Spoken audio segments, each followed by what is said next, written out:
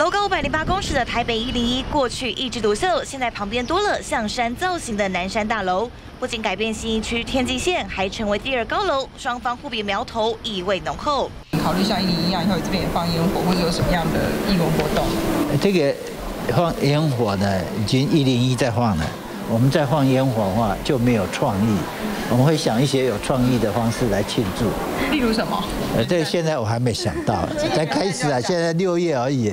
四十八层楼的南山大楼当中，三十八层楼面将作为办公室。尽管还没正式营运，但招商已经九成满，每平租金五千元，超越台北一零一。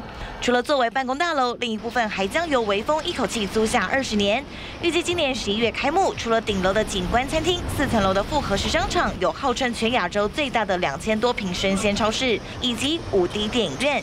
快要百分之百了，所以总统那一年租金大概多少？可以为南山带来多少租金？对我还没算过。因为还没全部签约了啊，但是我觉得会比我们原来预期的好。大概多少？超过一亿或两亿？呃，这个金额不能讲。还在施工中的新 A 十三远东百货呢，预计在二零一九年就会开幕了。到时候它将会与星光三月还有南山微风三强鼎立。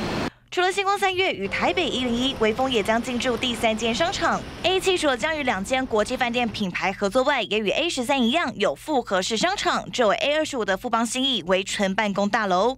倒是各商场陆续开幕，或许能借由集合效应一起把饼做大。但若百货自身无法做出差异化，恐怕仍无法从中分一杯羹。